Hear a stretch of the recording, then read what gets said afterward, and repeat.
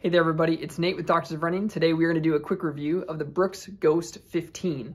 This shoe is one that has stayed consistent over a lot of iterations. There have been updates to this model, including a new midsole um, in the DNA Loft version 2. We'll talk about the differences a little bit, but in terms of specs, we're looking at about 35 millimeters in the heel, 23 millimeters in the forefoot, giving you a 12 millimeter drop. Men's size 9 comes in at 9.8 ounces. Women's size 7 comes in at 8.8 ounces. And you are coming in, I think it's at $140. So the Brooks Ghost is a very traditionally shaped shoe. There are not extreme geometries, there's not extreme foams, there's no stiffening agents like carbon fiber plates. You have a pretty flat geometry, you have a flexible forefoot, and you have a cushioning that doesn't sit super bouncy. It does. It's not super soft. It's not extremely firm. It's kind of in the middle of a lot of those things. So from a running experience, it's not extremely dynamic or crazy, but I think that's exactly what Brooks is going for with a shoe like this because their target audience is not only runners. I think they design a shoe like this to be comfortable enough to do a lot of different types of activities for people wanting to remain active. So a shoe that has more of a flat geometry that has a flexible forefoot mirrors what a lot of people are wearing day to day when they're not running.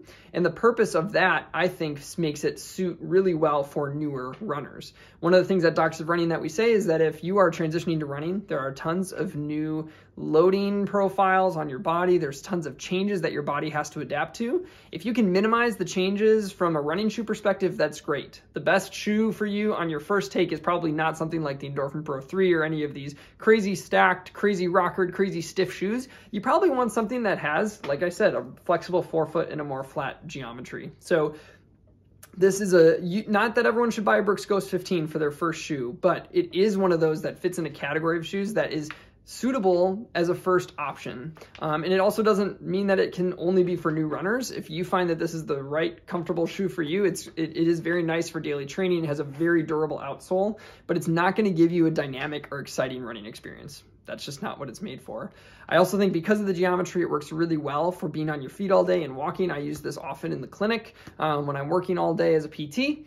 But it's it's just one of those shoes again that if you had a definition of shoe in the Webster's dictionary and they needed a picture, they could choose this shoe because there's it, it just fits a lot of the profile of, of what a shoe looks like and is. There's nothing exciting from uh, an innovation standpoint.